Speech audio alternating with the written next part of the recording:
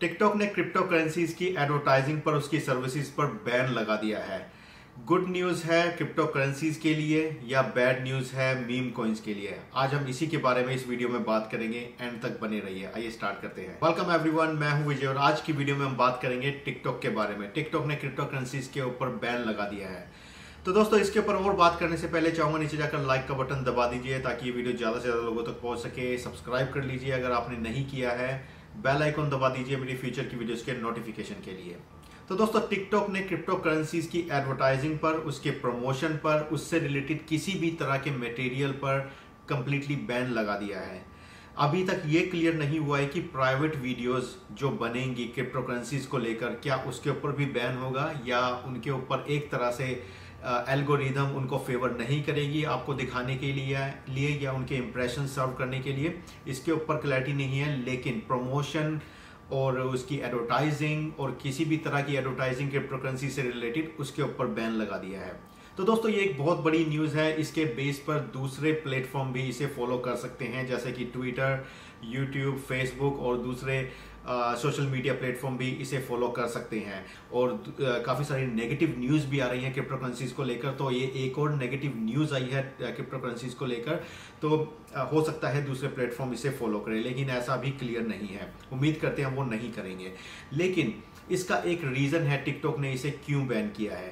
उसके लिए हम, मैं आपको न्यूज़ दिखाऊँगा कि जो न्यूज़ आई है, उसके अंदर एक्चुअल क्या कहा गया है टिकटॉक की तरफ़ से बैन करने का रीजन जो दिया गया है वो मैं आपके साथ शेयर करूँगा। तो दोस्तों जैसे कि आप देख सकते हैं अपनी स्क्रीन पर ये है TikTok ban user from promoting crypto currencies तो अगर हम नीचे जाएँ तो टिकटॉक ने बेसिकली अनाउंस कर दिया है कि क्रिप्टो करेंसीज की प्रमोशन पर वो बिल्कुल बैन लगा रही हैं। Social media platform TikTok has banned uh, content promoting cryptocurrencies and related products and services. The company branded content policy states उनकी नई पॉलिसी आई है, उसके अकॉर्डिंग उन्होंने इसके ऊपर बैन लगा दिया क्रिप्टो करेंसीज की किसी भी तरह की सर्विस किसी भी तरह प्रमोशन और एडवर्टाइजिंग पर। अगर हम नीचे जाएँ तो यहाँ पर बेसिकली उसने क्रिप्टो करेंसीज पर ही बैन नहीं लगाया है।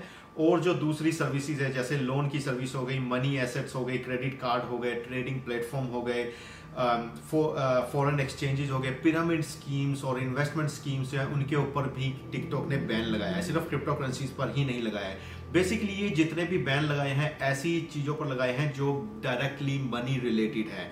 जैसे हम क्रिप्टो करेंसीज के बारे में बात करें तो क्रिप्टो करेंसीज को लेकर बहुत से स्कैम आजकल चल रहे हैं, खास करके पिरामिड स्कीम जो फोरसाज और जो दूसरी मैंने वीडियोस पास में बनाई थी उस तरह के पिरामिड टाइप के स्कीम जो है वो हाईली प्रमोट की जा रही थी टिकटॉक पर। और दूसरा जो मीम कोइंस हैं उनको पंप करके डंप किया जा रहा था। ये सर्विसेज़ भी बहुत ज़्यादा चल रही थी। बहुत से टिकटॉकर जो है वो इसकी जो एडवर्टाइजिंग का जो प्लेटफॉर्म है टिकटॉक का आ, उसको फ़ायदा उठाकर अपने जो कंटेंट हैं उनको प्रमोट कर रहे थे और उसके बेस पर काफ़ी सारे पैसा भी बना रहे थे। तो जो बेसिकली वो एक जो है पोंजी स्कीम्स होती हैं, उनको बहुत ज़्यादा प्रमोट किया जा रहा था, जो कि क्रिप्टो करेंसी से रिलेटेड थी। तो ये एक अच्छी न्यूज़ है बाकी क्रिप्टो करेंसीज के लिए, क्योंकि बहुत से ऐसे मीम कॉइन्स जो डिज़र्व भी नहीं करते, जो आज स्टैंड करते हैं जहाँ, उनकी वजह से मार्केट बहुत ज़्यादा मैनिपुलेट हो रही थी। बहुत से लोग क्रिप्टो करेंसीज को ऐसे ट्रीट कर रहे थे जैसे ये overnight quick get rich quick scheme हो। तो इसके इसके ऊपर रोक लगेगी। टिकटॉक बहुत बड़ा प्लेटफॉर्म है यूएस और यूके में। तो वहाँ पर बाइंग पावर भी बहुत ज़्यादा है। यंगस्टर्स बहुत ज़्यादा फॉलो करते हैं। यंगस्टर्स के अगर हंड्रेड डॉलर भी डालते हैं तो जो स्कैम कर रहा है उसके लिए बहुत बड़ी अमाउंट बन बन जाती है।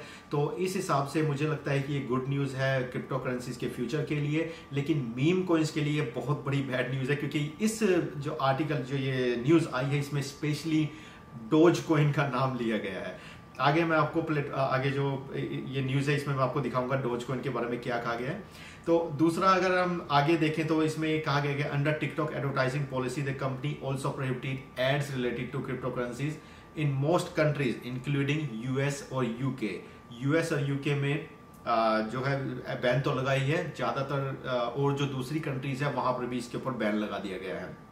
और नीचे जाए तो according to Financial Times TikTok move come after individual were warned about taking financial information from TikTok over concern it could be misleading and hurt young savers तो इसमें स्पेशली कहा गया है कि जो यंग जनरेशन है वो फाइनेंशियल एडवाइस ले रही थी टिकटॉकर से।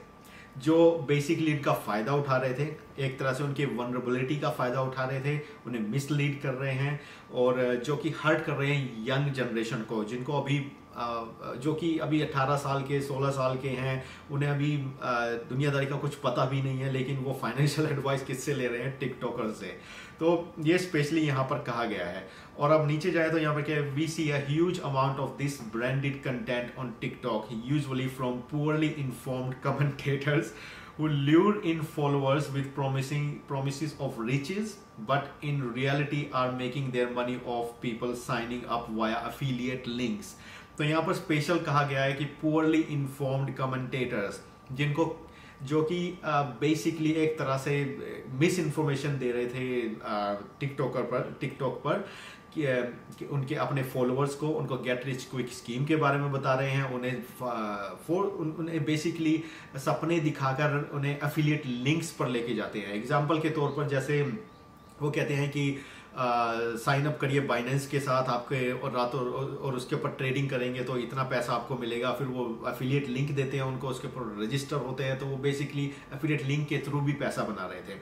तो बेसिकली यहाँ पर ये कहा गया है। अब आते हैं डोज कोइन के बारे में क्या गया है कहा गया है।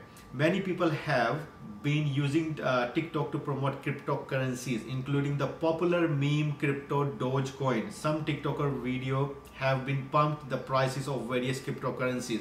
यहाँ पर स्पेशली डोज कोइन का नाम लिया गया है कि बहुत से टिकटॉकर जो है डोज कोइन के प्राइस को पंप कर रहे थे। इसके लिए मैंने एक वीडियो भी बनाई थी कि टिकटॉकर्स कैसे मार्केट को मैन्यूपलेट कर रहे हैं, कैसे क्रिप्टो करेंसीज को पंप करने में लगे हुए हैं, कैसे डंप करने में लगे हुए हैं। उसके लिए मैंने वीडियो बनाई थी, अगर आपने वो नहीं देखी है तो लिंक आपको डिस्क्रिप्शन में मिल जाएगा या आई बटन पर क्लिक करके भी आप उस वीडियो को देख सकते हैं। तो बेसिकली दोस्तों, ये जो है, ये न्यूज़ आई है, ये बहुत बड़ी न्यूज़ है बीम कोइंस के लिए और बाकी दूसरी क्रिप्टो करेंसीज के लिए भी। इससे फ़ायदा सबसे बड़ा ये होगा कि जो दूसरी क्रिप्टो करेंसीज है, जो मेन स्ट्रीम की क्रिप्टो करेंसीज है, उनकी मैन्युपुलेशन कम हो सकती है। और दूसरा, जो मीम कॉइन्स हैं, जैसे कि ये डोज कॉइन हो गया शिबा इनू हो गया, और दूसरे जो मीम कॉइन्स हैं, जिनको हाईली पंप किया जा रहा था सोशल मीडिया पर, खास करके टिकटॉक पर, वो रुक जाएगा। उनकी मैन्युपुलेशन रुक जाएगी, उनका पंप और डंप भी रुक जाएगा।